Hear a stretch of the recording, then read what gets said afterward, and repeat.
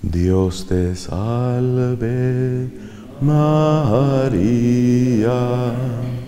llena eres de gracia, el Señor es contigo, bendita tú eres entre todas las mujeres, entre todas las mujeres, y bendito es el fruto de tu vientre, Jesús.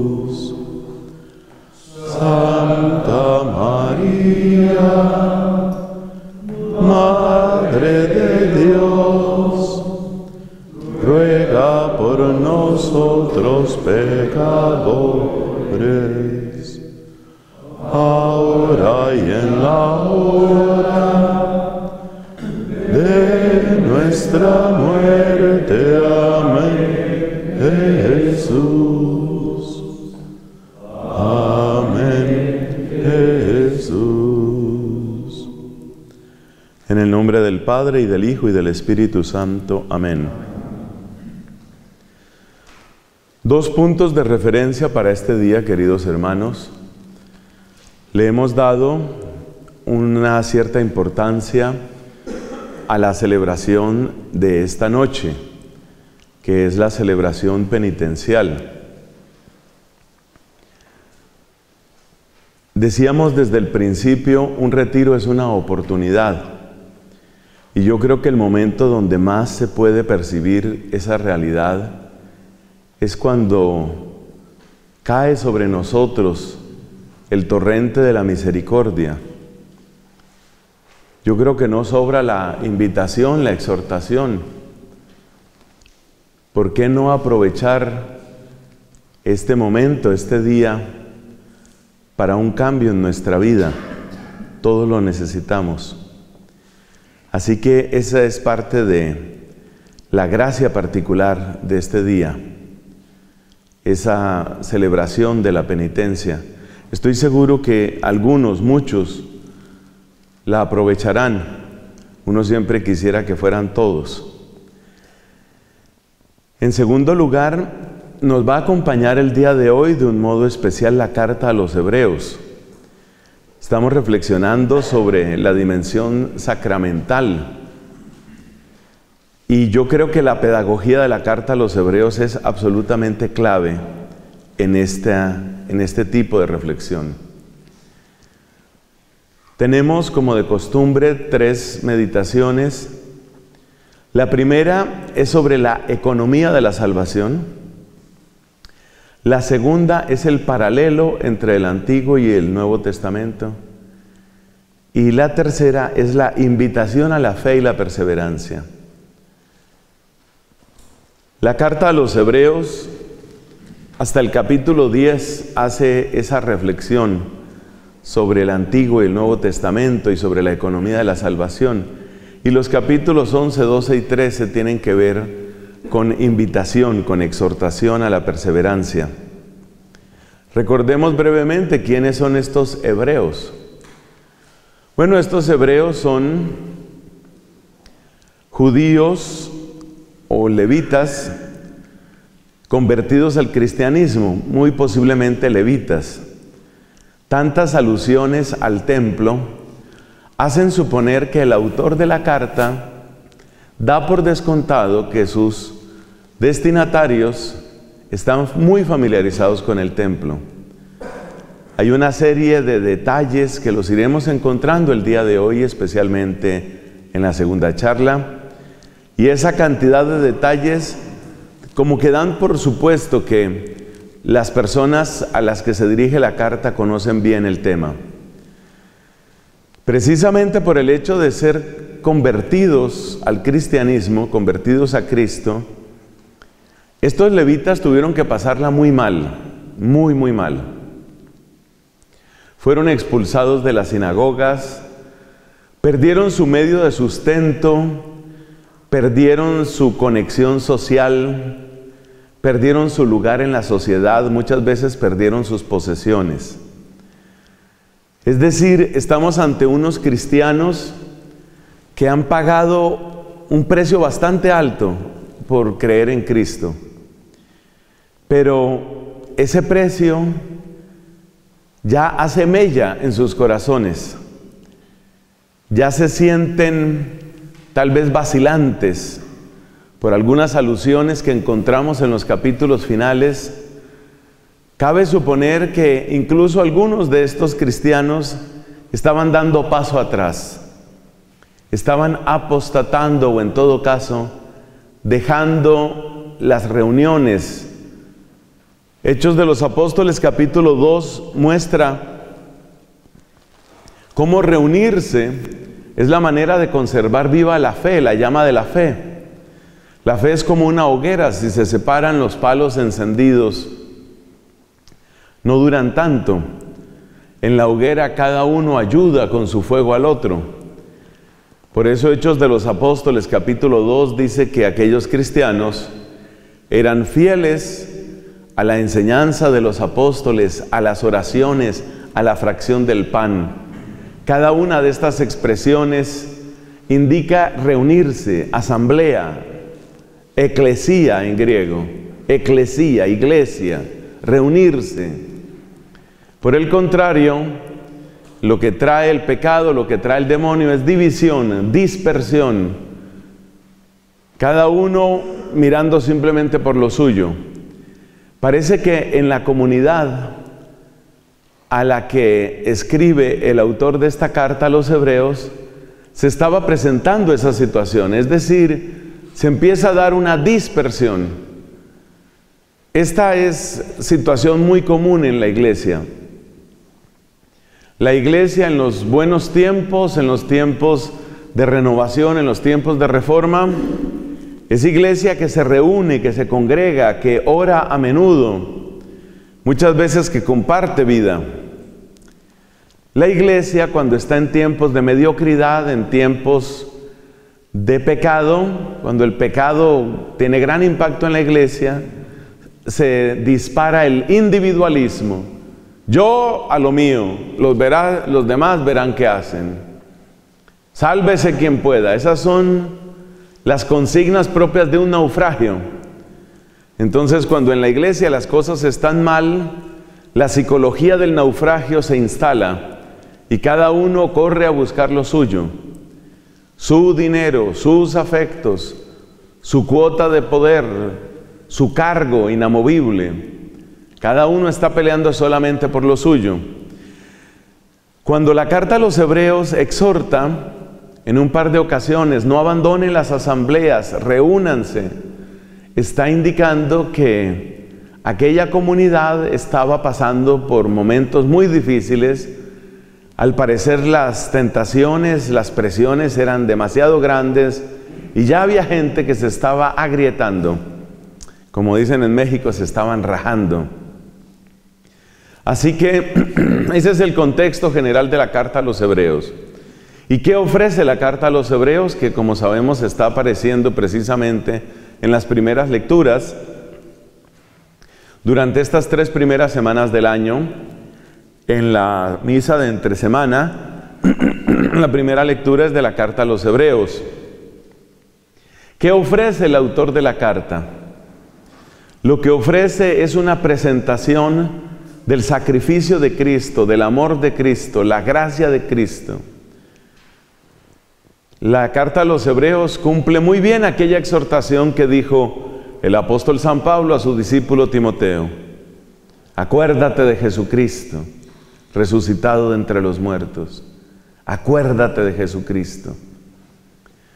Esa invitación que es al mismo tiempo fuerte y cariñosa de San Pablo vale, por supuesto, para nosotros sacerdote que está en dificultades, que encuentra árido el campo, acuérdate de Jesucristo. Sacerdote que es aceptado, querido por la gente, pero que puede caer en una cierta comodidad, acuérdate de Jesucristo, resucitado de entre los muertos. sacerdote en tentación o en pecado, acuérdate de Jesucristo. Entonces, ese acuérdate de Jesucristo se cumple muy bien, como llamémoslo así, tema central de la carta a los hebreos. Lo que está diciendo la carta a los hebreos se puede resumir en esa expresión de San Pablo. Acuérdate de Jesucristo. Y lo que hace es presentarnos a Jesucristo ante todo como sacerdote. Un sacerdote que es a la vez inmaculado, sin mancha alguna, compasivo, cercanísimo a nosotros y perfecto en su ofrenda, eficaz en su sacrificio. Esas serán las tres características del sacerdocio del Señor en la carta a los hebreos. Las repito, las características, porque son muy lindas y son muy propias de lo que la gente también espera de nosotros. El sacerdote, el sacerdote Cristo, como aparece en esta carta, es separado de los pecadores, compasivo con los pecadores y eficaz en la victoria sobre el pecado. Esas tres características realmente resumen lo que es el sacerdocio de Cristo en esta carta. La carta lo que quiere es que se cumpla en nosotros lo que dijo San Pablo, acuérdate de Jesucristo, y nos lo presenta como sacerdote, con esas tres características, las repito por última vez, separado del pecado, no es pecador, separado del pecado, compasivo con los pecadores y vencedor del pecado, de nosotros los pecadores. Esas tres características las desarrolla la carta a los hebreos a partir de una palabra clave la palabra clave es sacrificio. Es decir, la carta a los hebreos va a leer la muerte de Cristo en la cruz con su terrible y dolorosa pasión, con todas sus humillaciones, la va a ver como un sacrificio. Y ese sacrificio es el que muestra el sacerdocio de Cristo. No es un pecador, se compadece de los pecadores y hace por ellos con amor ese sacrificio que es eficaz en la victoria al pecado, la victoria sobre el pecado. Bueno, con esa claridad ya podemos acercarnos a la primera palabra, que es la que más nos interesa en esta charla, economía de la salvación. Esa palabra economía, pues nosotros la asociamos con el dinero. El estudio de la economía es estudio de bienes y servicios en la medida en que eso implica transacciones económicas, transacciones de dinero. Pero el origen de la palabra economía, como seguramente muchos recuerdan, es muy distinto. La palabra oikos quiere decir casa. Es la misma palabra que encontramos en la ecología. La ecología es el estudio de la casa Papa Francisco siempre insiste en la casa común. Entonces es el cuidado de la casa. Cuidado de la casa. El estudio de la casa realmente es lo que significa ecología. Y ecos, ecos no, oikos es casa y nomos, nomos es ley. Entonces, por ejemplo, cuando se dice autonomía, Literalmente la autonomía es la característica de quien se da una ley a sí mismo. Heteronomía. Bueno, heteronomía es el depender de una ley o de un mandato de otro. Esa es la raíz nomos. Entonces la economía literalmente es la ley de la casa, ley de la casa. En una casa siempre hay muchas necesidades, y en una casa también hay provisiones. Cuando hay que administrar una casa, es evidente que hay que sincronizar las necesidades y las provisiones. Y el sentido original de economía es ese. Es la adecuación de las provisiones a las necesidades o de los recursos a los requerimientos. Esto implica espacios, bienes, tiempos, personas. Eso es lo que incluye la economía. El ejemplo más sencillo es cuando pensamos, por ejemplo, en una bodega. En muchos lugares se habla de una dispensa o despensa. Esa despensa tiene una cantidad de bienes. Por ejemplo, hay garbanzos, hay arroz, hay azúcar, sal. No se puede gastar todo de una vez. Tampoco se puede retener indefinidamente.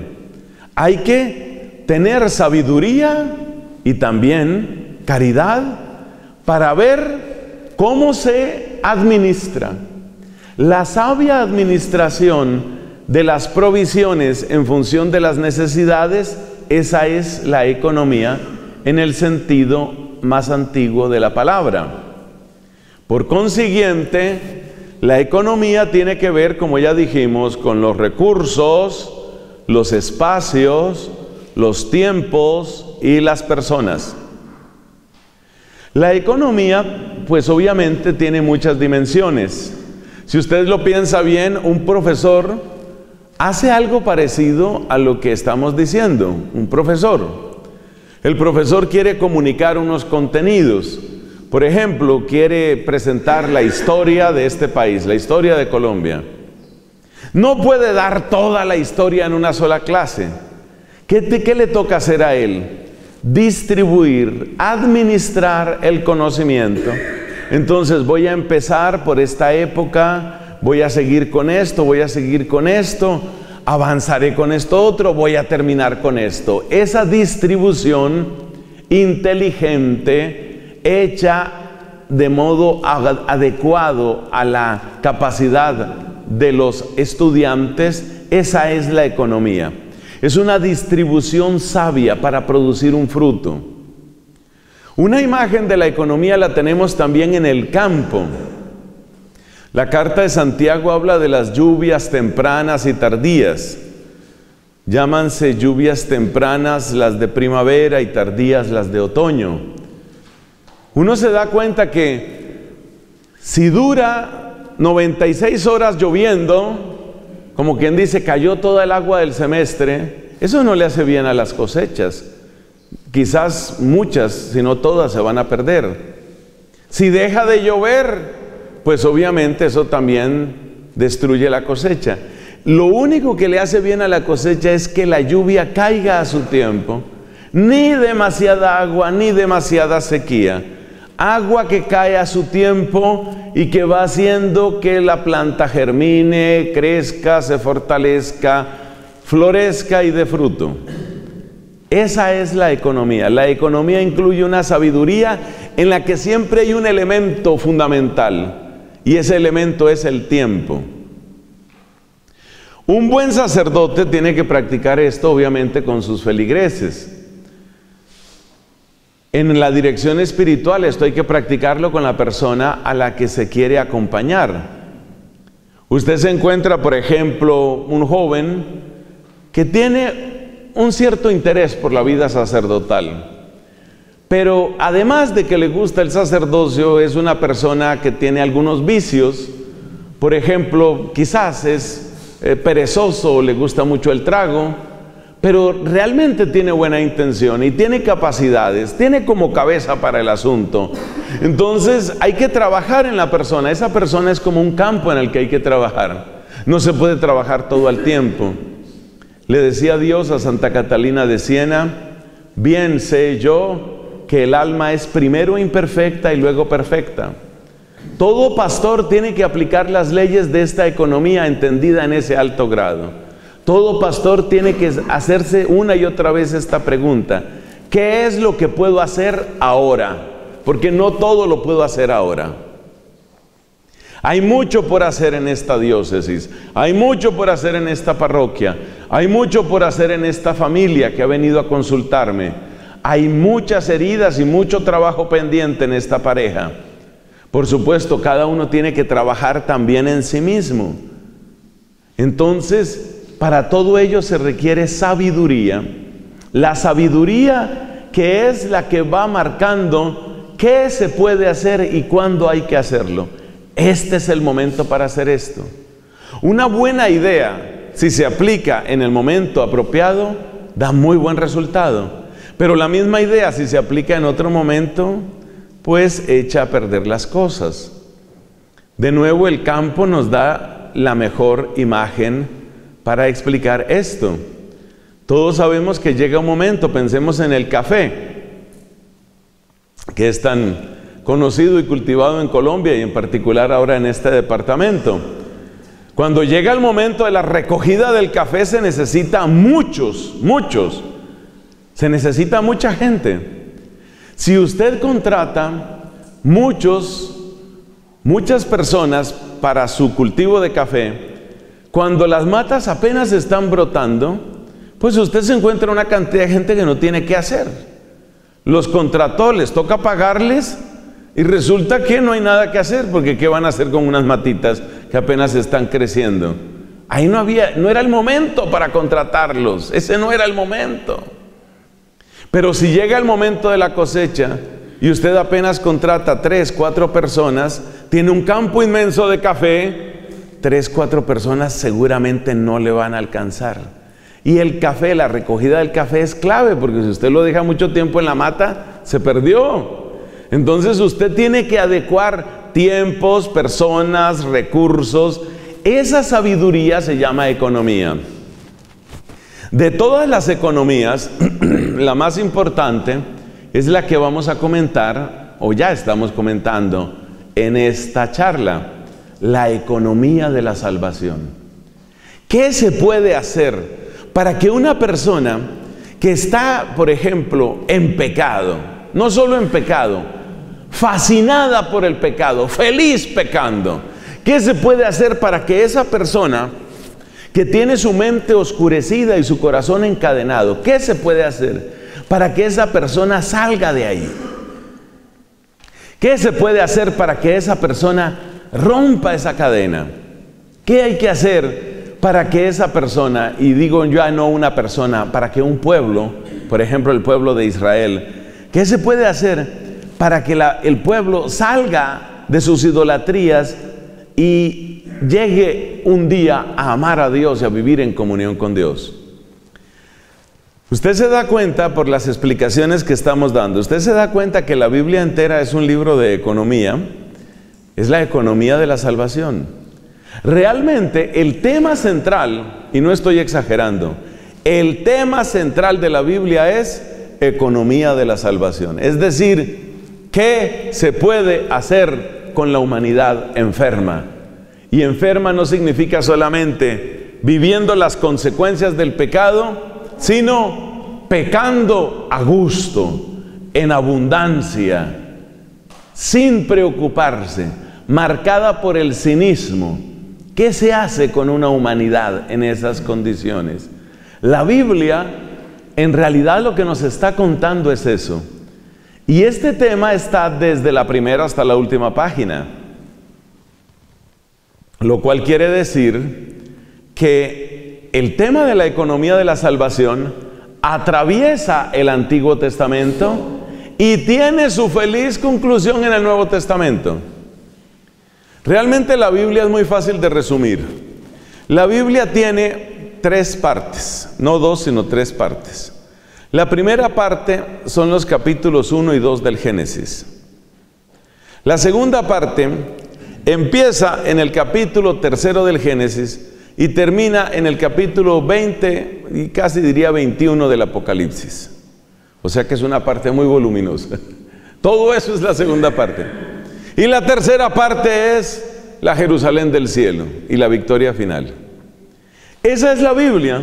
O sea, lo que estoy diciendo es que la Biblia solo cuenta creación, pecado, que empieza en Génesis 3, todo lo que Dios se inventa para sacar al ser humano del pecado, y cuando ya lo ha sacado, fiesta en la Jerusalén del cielo. Esa es la Biblia. Esa es toda la Sagrada Escritura. Con esto estoy diciendo que el tema de la economía de la salvación atraviesa toda la Biblia y es la que le da unidad y continuidad a los dos testamentos. Siempre que se estudia el tema de la relación y continuidad entre el Antiguo y el Nuevo Testamento, Siempre, mis hermanos, es necesario llegar a la economía de la salvación. Economía que significa en este caso, para describirlo tal vez con palabras un poco vivaces, todo lo que Dios se inventó, todo lo que Dios hizo para tomar seres humanos libres, porque esos somos nosotros, seres humanos libres, por consiguiente capaces de generosidad, pero también capaces de capricho capaces de obstinación, capaces de dura cerviz, capaces de terquedad, capaces de rebeldía. Todo lo que Dios inventó para tomar a una humanidad libre y por consiguiente capaz de rebeldía, para llevarla sin violentar la característica racional y libre del ser humano hasta la plena comunión con Él, que es lo que describe hermosamente el libro del Apocalipsis cuando nos presenta la ciudad santa. Yo vi la ciudad santa, la nueva Jerusalén, que bajaba del cielo adornada como una novia para su esposo. Libro del Apocalipsis. La carta a los hebreos nos ayuda a percibir de un modo muy particular esta economía de la salvación. Es una lectura que recomiendo vivamente, vivamente. La misma carta habla de un cierto nivel al que quiere llevarnos en su reflexión. La carta en cierto momento, por allá en el capítulo quinto, dice, ustedes ya deberían poder comer alimento sólido, ya no más leche, como el niño pequeño que tiene que ser amamantado. Ustedes ya deberían poder comer un poco más sólido. Nos toca devolvernos a cosas demasiado elementales, dice el de la carta a los hebreos. Pero la verdad es que la carta a los hebreos no se limita a las cosas elementales. Por cierto, la misma carta explica cuáles son esas cosas elementales. Esas cosas elementales son reconocer y detestar el pecado, buscar la conversión, recibir el bautismo, nosotros diríamos también de otros sacramentos. Esas son las cosas elementales. La carta a los hebreos quiere llevarnos a un nivel un poquito más alto. Y por eso es una lectura especialmente apropiada para aquellos que tienen alguna formación teológica, como es el caso, por supuesto, de nosotros sacerdotes. Esta carta entonces es muy útil por, por lo menos esas dos razones, no tres hemos dicho. La primera porque se refiere al sacerdocio de Cristo, la segunda porque nos enseña a ver la conexión, la dinámica interna de toda la Biblia, y la tercera porque nos da un cierto vigor, una altura en nuestra reflexión teológica. Es un documento demasiado interesante y demasiado importante. Quiero decirles, esto es una buena noticia, quiero decirles que de mi experiencia, lo que yo he visto en, Biblias, uno nunca conoce todo, pero realmente las Biblias actuales, las más conocidas, como decir eh, la Biblia de las Américas, como decir la Biblia de Jerusalén y otras, traen muy buenas introducciones y muy buenas notas para acompañar una lectura juiciosa de la carta a los hebreos. Así que ahí queda esa invitación para después de nuestro retiro. Esta carta hace un paralelo, o si lo digo mejor, una lectura alegórica del culto en el Antiguo Testamento para descubrir que en el Nuevo Testamento hemos pasado de la figura a la realidad. Las palabras claves en esa descripción, en esa presentación de la economía de la salvación, en la carta a los hebreos, las palabras claves son figura, realidad. Figura, realidad. Vamos a decir otras palabras que también pueden eh, ayudarnos a ver la dinámica, porque es la misma dinámica que hay entre el Antiguo y el Nuevo Testamento. Esto le sirve a uno mucho para la predicación. Comentaba un sacerdote en un retiro espiritual, veo con preocupación que muchos, muchos sacerdotes simplemente omiten las lecturas del Antiguo Testamento en las homilías. Prácticamente no se dice nada a veces es comprensible porque quizás le faltan a uno como herramientas. Bueno, un documento, una carta que nos ayuda a encontrar esas herramientas es la carta a los hebreos. Y la herramienta se llama alegoría. Y esa alegoría la aplica con figura, realidad. Bueno, demos algunas explicaciones sobre esto de la figura y la realidad. Haga de cuenta, la figura es como los planos y la realidad es como la casa. Esa es una manera de escribirlo. Figura y realidad. Los planos ya te hacen suponer un poco cómo van a quedar las cosas, pero luego hay que llegar a la casa. Otra descripción que también puede ser útil promesa y cumplimiento. Hermano sacerdote, si usted quiere mejorar la calidad de su predicación del Antiguo Testamento, la mejor época del año para hacerlo es la que acaba de pasar, o la que pasó hace poquito, el Adviento. Las lecturas de Adviento son una de las joyas que tiene la liturgia actual. Si usted se da cuenta en las lecturas de Adviento, siempre podemos volver a los leccionarios, no, hay que esperar a que llegue diciembre para, para hacer este ejercicio. Tome usted las lecturas, por ejemplo, martes de la primera semana de Adviento. Usted tome la primera lectura, que casi siempre está tomada de Isaías, y luego mire el Evangelio. Si usted se queda mirando los Evangelios de Adviento, como decimos en Colombia, se queda viendo un chispero. Eso no se entiende. El Evangelio, los Evangelios en Adviento son un día Marcos, otro día Lucas, otro día Juan, Mateo, eso. Dice uno esto qué orden lleva.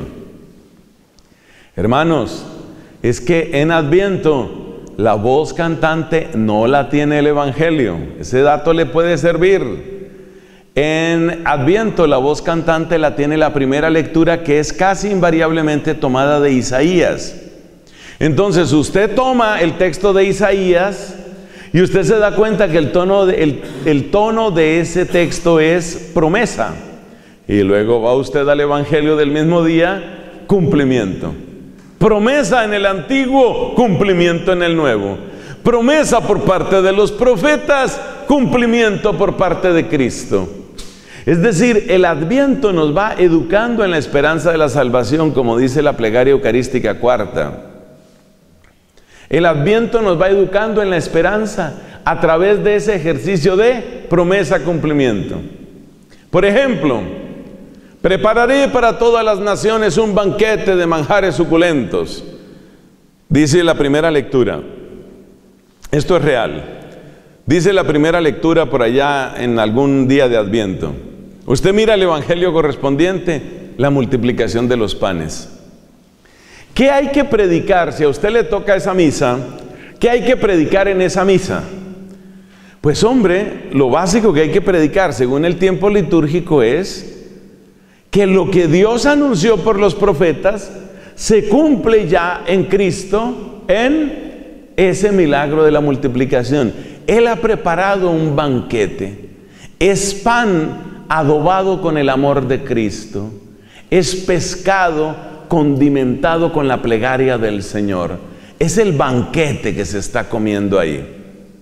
Entonces, la carta a los hebreos nos educa para que veamos figura, realidad, promesa, cumplimiento. Esas son palabras que nos ayudan a entender esta dinámica. ¿Qué otras palabras podemos, podemos eh, utilizar para comprender esa dinámica. San Pablo nos dice algo parecido. Nos dice, cuando nosotros éramos niños, éramos conducidos por un pedagogo. La ley es el pedagogo, eso lo hemos dicho muchas veces. Pero ahora que ya somos mayores de edad, ya no. Cuando yo era niño, pensaba como niño, razonaba como niño, actuaba como niño ahora que crecí dejé las cosas de niño. De ahí surge entonces otra pareja de palabras. Primera pareja, figura, realidad, como decir los planos y la casa. Segunda pareja, promesa y cumplimiento. Tercera pareja, inmadurez, crecimiento, infancia.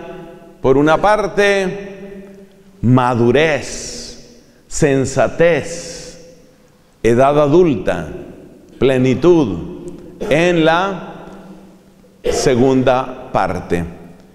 Entonces, inmadurez y madurez, infancia y edad adulta, así se relacionan la eh, antigua alianza y la nueva alianza. De hecho, esas dos palabras, antiguo y nuevo, también van en la misma dirección. Lo antiguo ha pasado, lo nuevo ha comenzado. Antiguo y nuevo. Ninguna de estas parejas de palabras captura completamente la idea. Lo mejor es tenerlas vivas todas, tenerlas presentes todas, quiero decir. Por ejemplo, si usted toma la, toma la pareja, figura realidad, daría la impresión de que entonces Dios no estaba amando en serio, era un amor como de mentiritas el que le tenía al pueblo de Israel. Hombre, no, no es la idea. O sea, no se quede solo con esa. La pareja figura realidad sirve, pero no es la única. Hay que ver otras. Lo mismo pasa con antiguo y nuevo. Hemos conocido el caso de algunos hermanos sacerdotes que razonan de esta manera. El Antiguo Testamento ya se quedó desueto. Ya eso ya no sirve, ya eso no tiene. Son en realidad sacerdotes de una religión distinta, se llama marcionismo.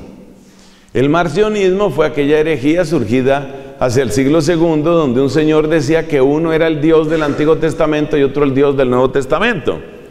Bueno, sobre esas cosas pues hemos conversado en otras oportunidades, pues evidentemente no es así. Hay cosas que son del Antiguo Testamento y que son válidas hoy y que serán válidas para siempre. Por ejemplo, el amor a Dios y al prójimo. El Papa San Juan Pablo II en esa encíclica que hemos citado, Veritatis Splendor, hace un comentario que es bien interesante. Estamos en pleno Nuevo Testamento, estamos en el Evangelio.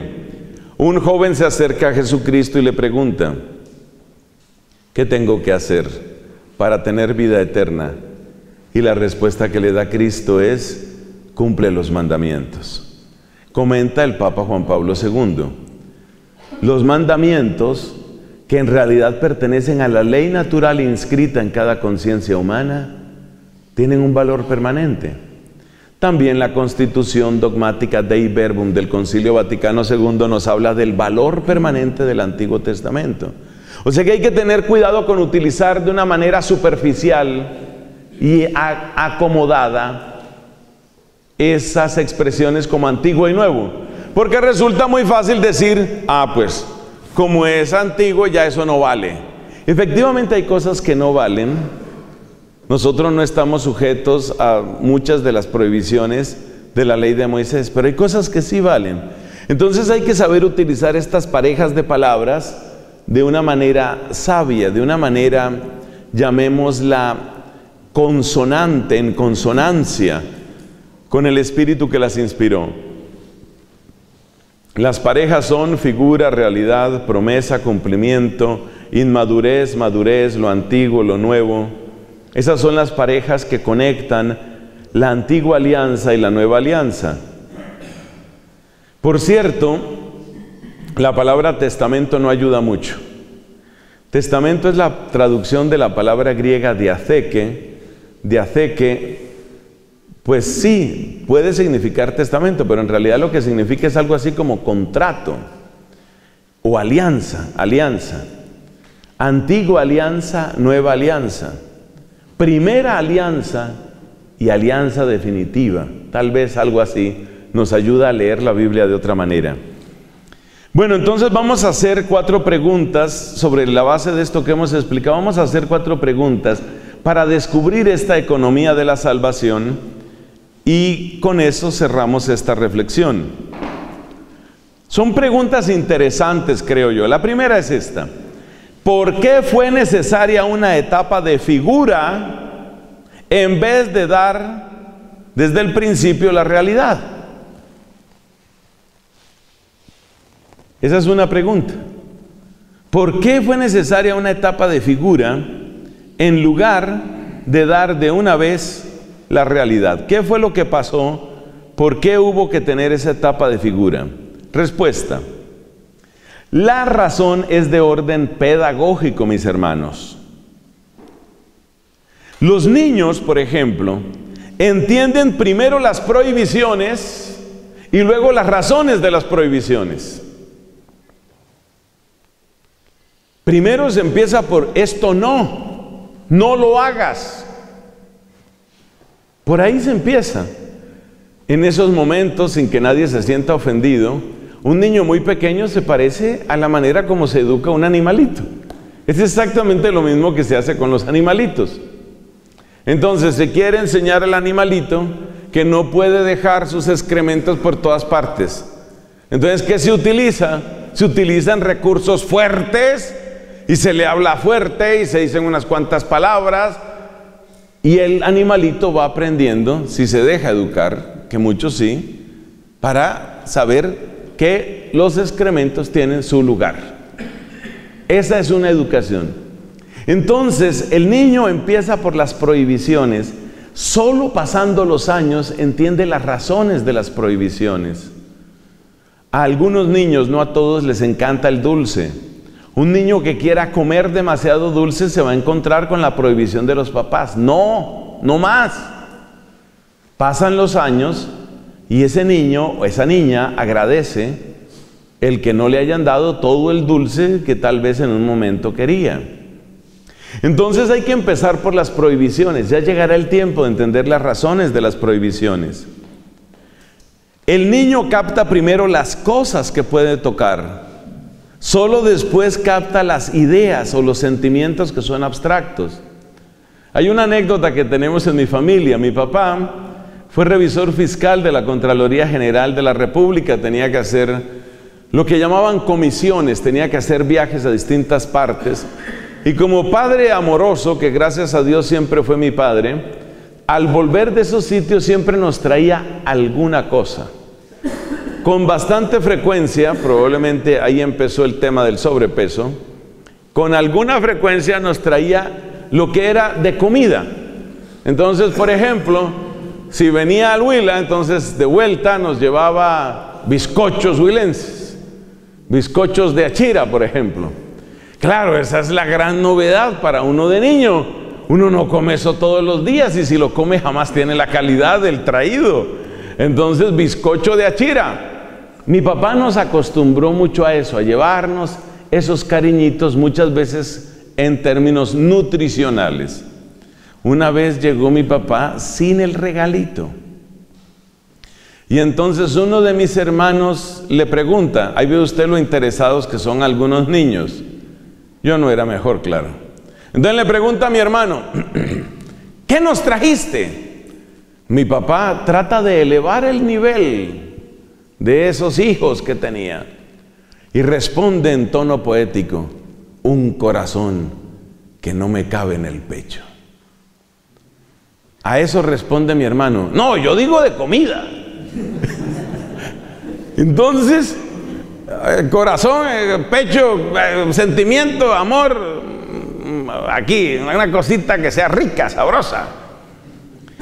Entonces el ser humano empieza por lo material, el ser humano empieza por lo sensible. Y curiosamente, lo sensible era la figura y lo invisible era la realidad. Por eso hay un prefacio que no sé cómo quedará traducido en el nuevo misal colombiano. Hay un prefacio de Navidad, para mí es de los prefacios más difíciles de traducir, porque eso en latín suena muy bueno, pero pasarlo al español me parece dificilísimo. Aquello de para que conociendo a Dios visiblemente nos llevara al amor de lo invisible. Eso han tratado de traducirlo desde que yo tengo memoria, le están cambiando la traducción a ese prefacio. No sé cómo haya quedado. Eso toca investigarlo con las autoridades pertinentes. Pero ese prefacio es muy difícil y lo que está diciendo es totalmente cierto. Dios nos lleva del amor de lo visible al amor de lo invisible. Fíjate Juan capítulo 6. Juan capítulo 6, ¿qué es? La gente comió como mi hermanito cuando era chiquito. Está Jesús Hablando del amor del Padre, sí, sí, muy bueno, bueno, sí, pero resuma, a ver, termine, sí, el amor del Padre. Todos sabemos que el Padre nos ama mucho, pero hay hambre, hermano, hay hambre. Entonces Cristo hace la multiplicación de los panes y la gente come hasta saciarse. Ay, quedaron con su barriguita llena, quedaron bien saciados. La gente empieza por ahí. Luego Cristo trata de elevar ese nivel. Ese capítulo sexto de, de San Juan es absolutamente inmortal, porque todo el capítulo sexto es un ascenso, ¿no? Desde el pan material, pasando por el maná, hasta llegar a Cristo mismo, que es el pan vivo bajado del cielo.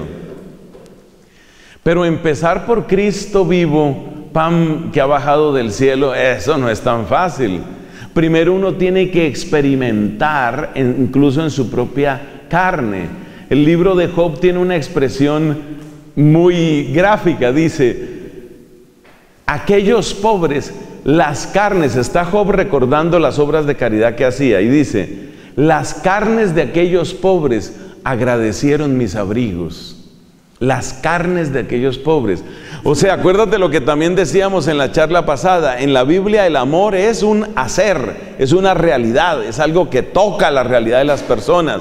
Por eso es muy importante que la iglesia sepa siempre tener un impacto social, un impacto que se convierte en que la gente mejora su condición humana. Eso es, eso es una parte integral de la evangelización. Tiene que haber un impacto en incluso en el estómago de las personas, si me permiten ser casi brusco. Hay que tener un impacto en la parte, en la parte física, pero luego no quedarse ahí, que es lo que me duele que está pasando en algunas comunidades religiosas. Yo traigo la tristeza de una comunidad de dominicas en España, en la región de Cataluña, que además no quiere ser española. En España, en la región de Cataluña, hay unas hermanas dominicas que ellas miden toda su obra en términos de cuántas mantas hemos repartido, cuántas comidas hemos dado, cuánto no sé qué. Hombre, eso es solo el comienzo. Pero la evangelización es llevar del amor de lo visible al amor de lo invisible. Sí, hay que tocar la realidad. Para eso hay departamentos de pastoral social en las diócesis y, hay, todo un, hay toda una estructura que tiene que ayudar a servir las necesidades de la gente, pero no quedarnos ahí. Respondida la primera pregunta. ¿Por qué hubo que empezar por la figura y no se pasó directamente a la realidad? Respuesta. Porque Dios es gran pedagogo y la vida de la gente hay que empezar tocándola de esa manera. Un buen sacerdote, gracias a Dios he conocido muchos muy buenos y he conocido grandes párrocos y admiro. Un gran párroco tendría que ser, y los hay, bendito sea Jesús. Un gran párroco es una persona que sabe tocar desde la realidad más material hasta la realidad más espiritual y mística. Sabe moverse en todo el espectro. Desde esas necesidades en las que se cumple lo del libro de Job, las carnes de los pobres le dieron gracias a mis abrigos, desde lo más material hasta lo más espiritual. Segunda pregunta. La segunda pregunta básica es esta. ¿Por qué este culto, el culto que aparece inaugurado por Moisés y Aarón, ¿Por qué este culto pedagógico fue dado a un pueblo solamente y no a todos los pueblos? Respuesta. Esta respuesta es un poquito más difícil. Hermanos, el descubrimiento de la diferencia entre el pecador y el pecado no es elemental. Esa diferencia no es elemental. el descubrimiento de la diferencia entre el pecador y el pecado de hecho, si tú observas en la Biblia, los textos morales más antiguos no distinguen entre el pecador y el pecado. Lea usted, por ejemplo, libro de los números. Varias veces, no las he contado, aparece la pena de muerte. El que blasfeme contra el Señor será apedreado hasta que muera.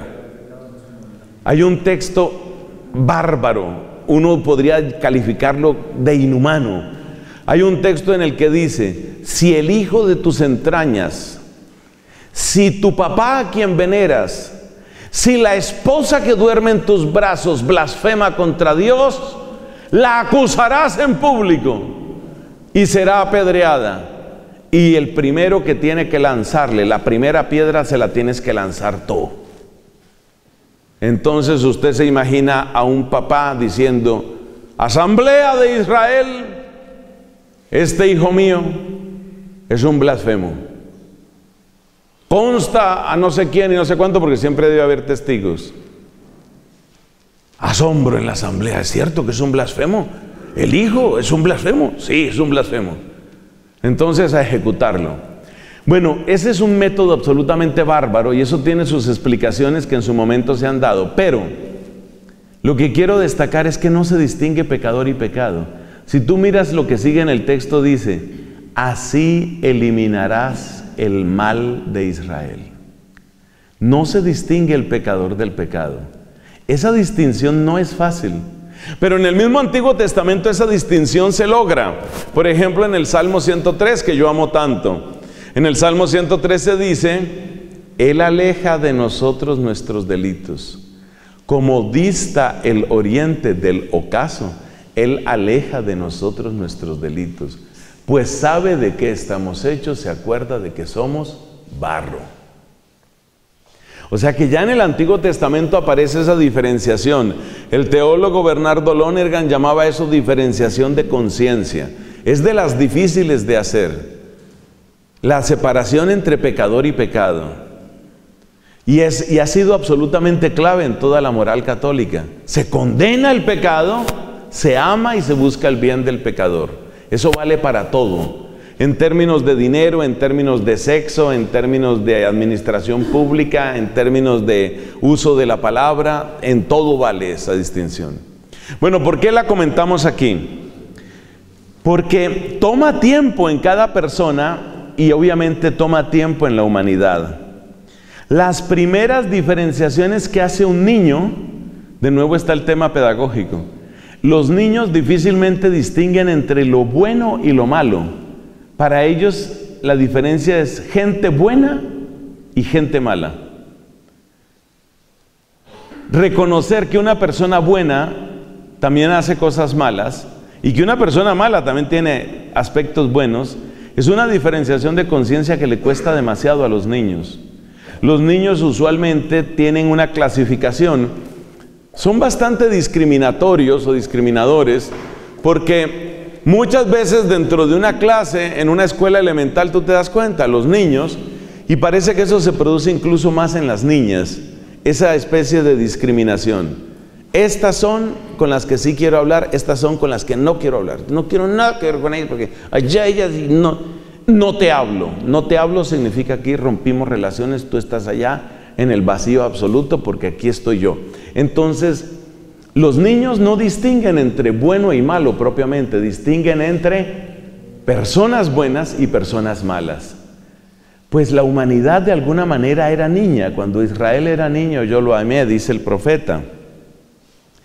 La tendencia general es considerarse uno mismo como parte de los buenos y ver a los demás como los malos.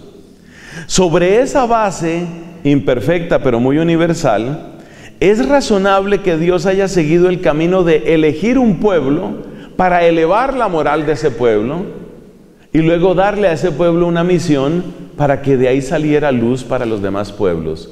Es poco que seas mi siervo, te hago luz de las naciones para que mi salvación alcance hasta el confín de la tierra. O sea que ya en el Antiguo Testamento aparece ese proceso.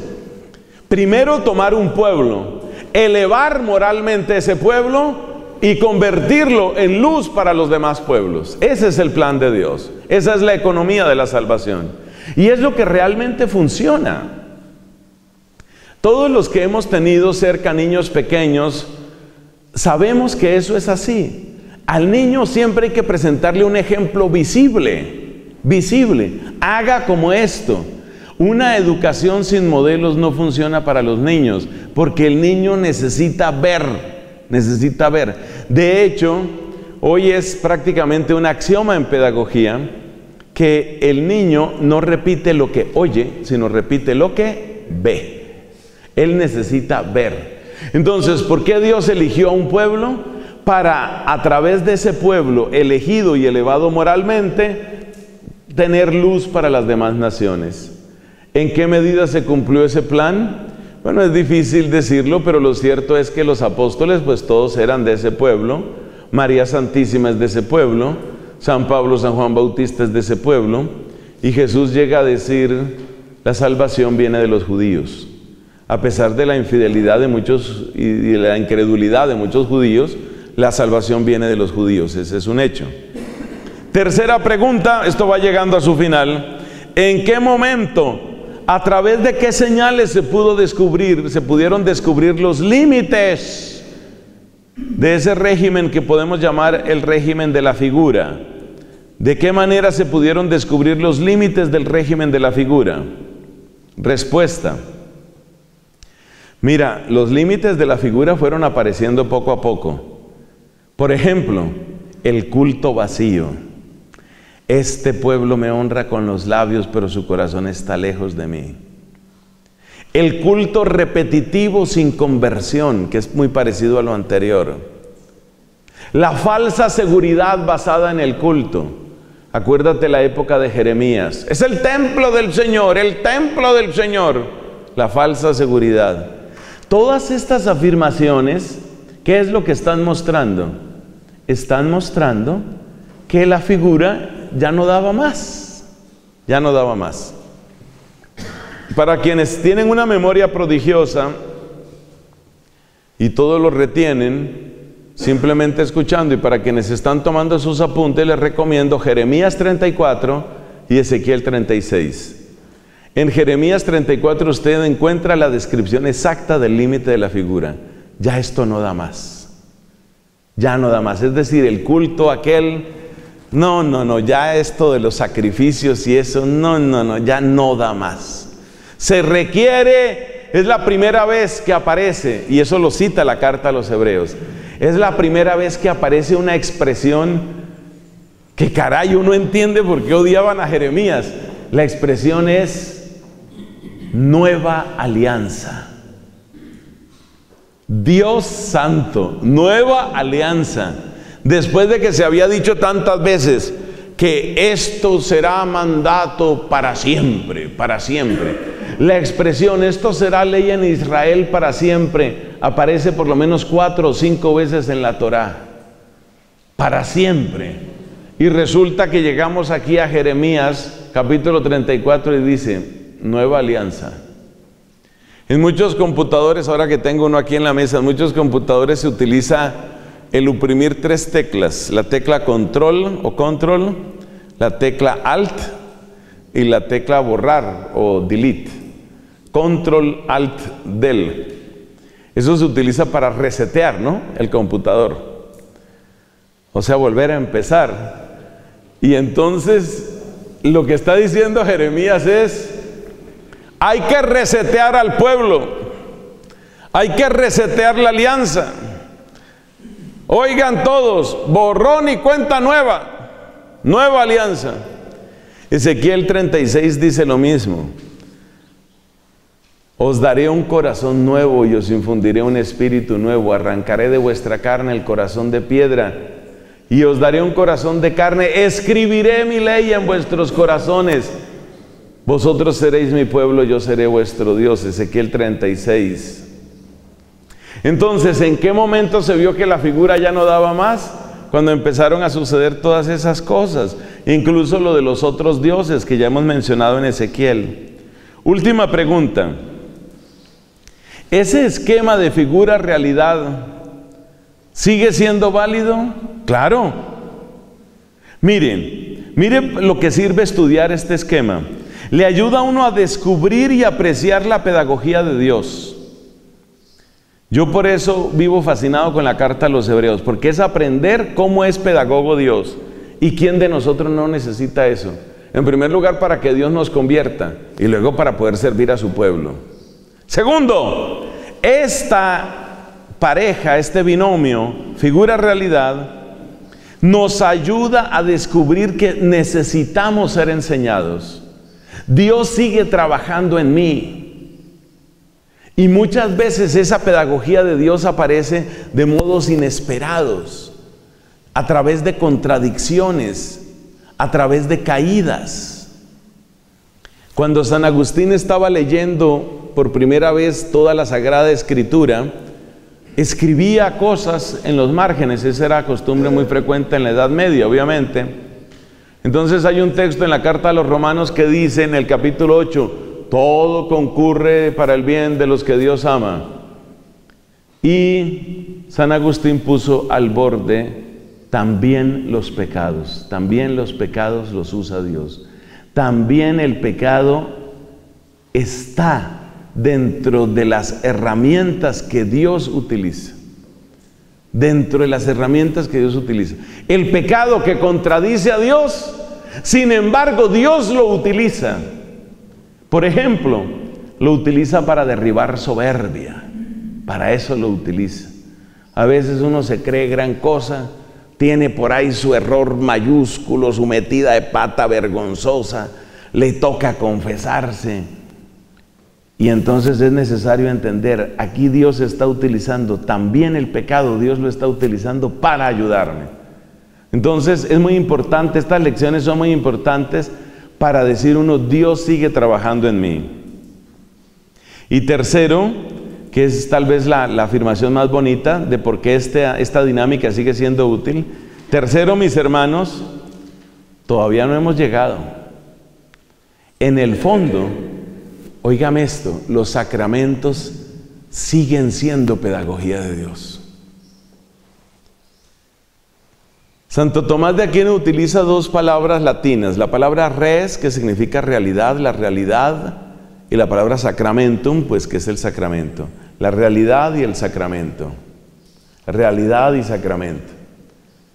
Y entonces el esquema que utiliza Santo Tomás es más o menos este. En el Antiguo Testamento, ellos lo que tenían era prácticamente el solo sacramento, o sea, la sola figura. Ahí utiliza la palabra sacramentum en el sentido de signo, solamente signo. Es decir, ellos tenían el solo signum, signum, eso era lo que tenían los, los antiguos. Que en un sentido lato de la palabra se puede decir tenían sacramentum tantum, tenían solo el sacramento. Nosotros en el Nuevo Testamento tenemos res ed sacramentum, tenemos la realidad y el sacramento. Entonces, por ejemplo, en la divina Eucaristía, nosotros tenemos una realidad sensible pero que todavía no nos muestra la plenitud. Todavía hay un aspecto de signo. Por eso en la definición clásica de sacramento se dice signo e instrumento. Sigue siendo signo. No es solo signo, pero sigue siendo signo. Entonces, en la antigua alianza, sacramentum tantum, solo el sacramento, solo la señal. En el Nuevo Testamento, res et sacramentum, tenemos la realidad y el signo, la realidad y sacramento al mismo tiempo, sobre todo se nota en la Eucaristía. Pero seguimos en camino, todavía no hemos llegado. Y cuando lleguemos, ¿cómo va a ser? Res tantum, solo la realidad. Es un esquema fácil de recordar y es bonito.